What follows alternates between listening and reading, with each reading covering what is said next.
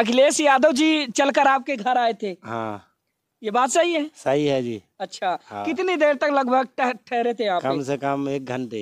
एक घंटे हाँ भोजन भी किया था यहीं भोजन भी हमारे यहीं पे किया था भोजन में क्या क्या खिलाया आपने उनको सर कड़ी है चावल है हाँ। रोटी है हाँ। मतलब मकाई की हाँ। तवे वाली रोटी हमारी अच्छा अच्छा हाँ। तो उन्होंने बहुत ही स्वादिष्ट बोला है भोजन को हमारे वो अच्छे से खाया है भी आप अछूत देखने को मिलता है सर कोई नहीं आता है हमारे यहाँ नहीं आता है कोई नहीं भेदभाव मानते भेदभाव मानते हैं पानी उनी कोई नहीं पीता कोई नहीं पीता पानी वानी कुछ नहीं अखिलेश यादव जी आए थे आपके यहाँ हाँ जी आए थे क्या कुछ बना के खिलाया आपने उनको कड़ी चावल भरता की चटनी भी बनाई थी अच्छा रोटी हाँ, हाँ। बैगन की उन्होंने खाया है आपने ही बनाया हाँ, हाँ तो ये खर्चा वगैरह कैसे चलता होगा कैसे आप लोग मैनेज कर पाते हैं सर तो साहब क्या है मजदूरी करके मतलब खाते हैं और क्या है यही है मजदूरी करते हैं और क्या आपके यहाँ किससे अगर मजदूरी ना करें तो फिर भूखे मरे भूखे रहेंगे साहब जगह जमीन कुछ है नहीं कुछ नहीं है सर जगह जमीन नमस्कार मैं हूँ आर के निषाद और आप देख रहे हैं दर्शक न्यूज ट्वेंटी बताते चले की आज हम पुनः मध्य प्रदेश के छतरपुर जिले के राजनगर विधानसभा में मौजूद हैं दोस्तों इन दिनों लोकतंत्र का महापर्व चल रहा है मध्य प्रदेश में यानी कि मध्य प्रदेश विधानसभा चुनाव 2023 मध्य प्रदेश में चल रहे विधानसभा चुनाव 2023 की तस्वीरें दिखाने के लिए आज हम राजनगर विधानसभा के एक शिगरो नामक गांव में मौजूद हैं दोस्तों जैसा कि बताते चले कि मध्य प्रदेश की अगर बात करें तो मध्य प्रदेश में दलित आदिवासी बस्तियों की भरमार होती है ज़्यादातर पाठा क्षेत्र पड़ने के चलते जहाँ पर आदिवासी जो वोट होते हैं उनको साधने में तमाम राजनीतिक जो पार्टियां होती हैं वो अपनी जोर आजमाइश शुरू कर चुकी हैं और जिस गांव में आज हम मौजूद है राजनगर विधानसभा के अंतर्गत आने वाला सिगरो नामक गाँव है और जिस आदिवासी के घर अखिलेश यादव जी ने भोजन किया था और यहाँ पर विश्राम किया था उनका नाम है इंद्रपाल आदिवासी तो आज हम इंद्रपाल आदिवासी के घर पर मौजूद हैं तो ये आप देख पाएंगे यही वह घर जहाँ पर अखिलेश यादव जी आए थे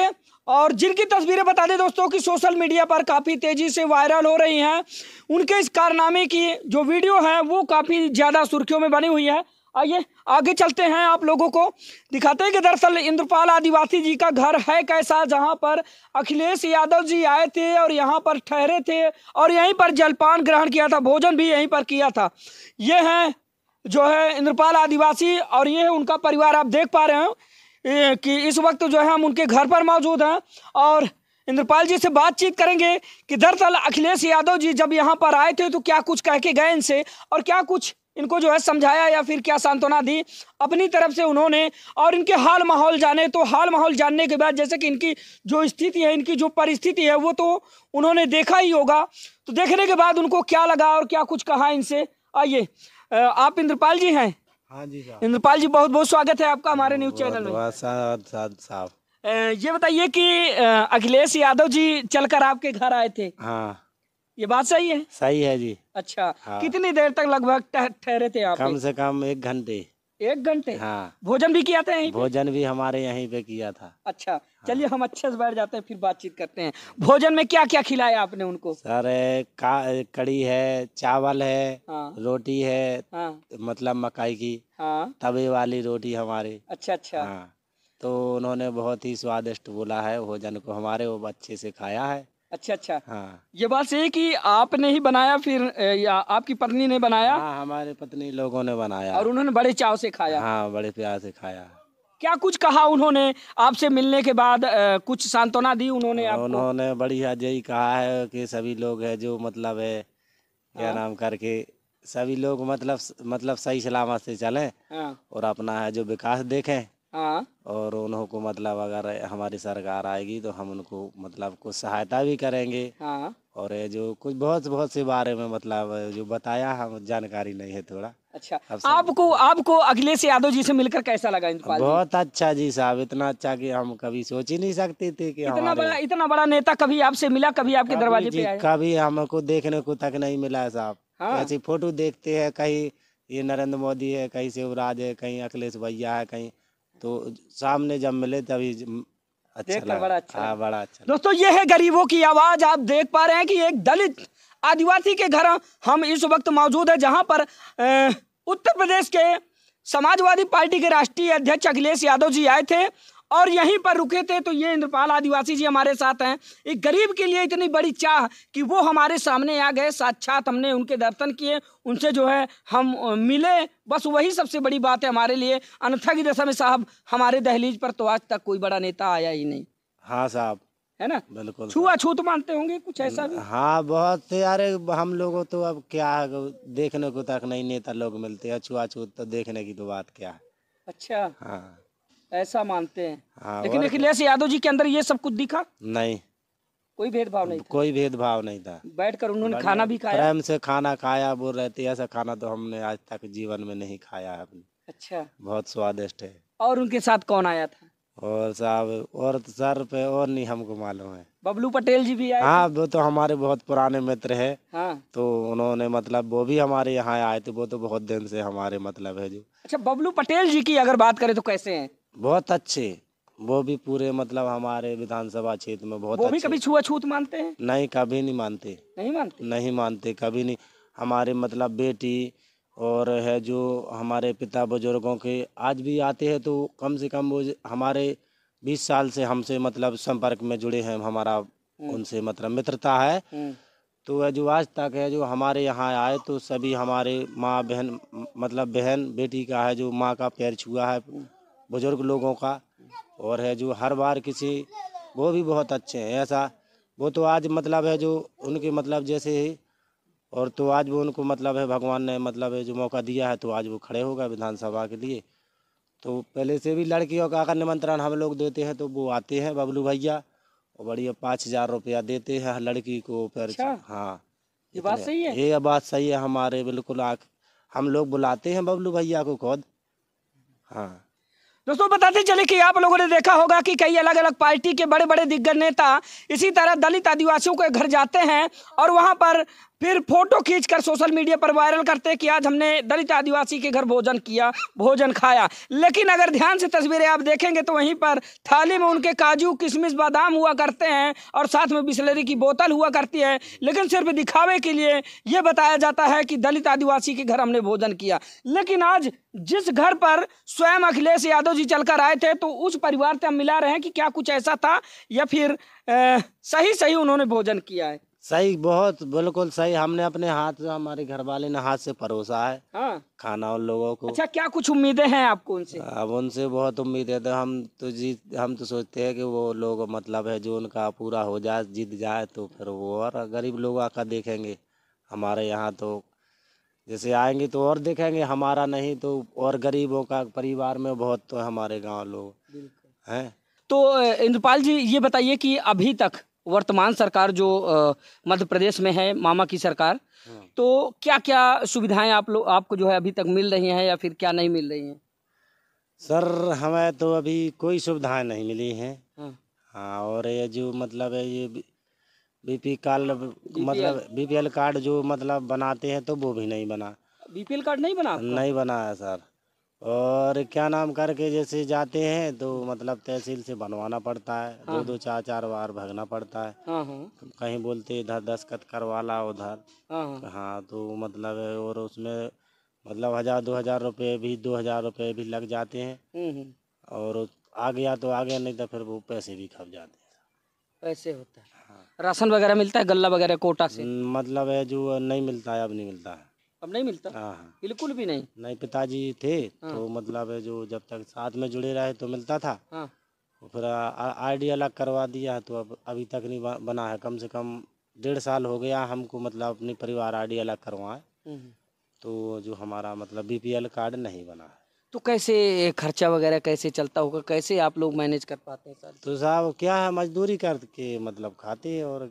क्या है यही है मजदूरी करते हैं और क्या आपके यहाँ किससे अगर मजदूरी ना करें तो फिर भूखे मरे भूखे रहेंगे साहब जगह जमीन कुछ है नहीं कुछ नहीं है सर जगह जमीन कुछ नहीं है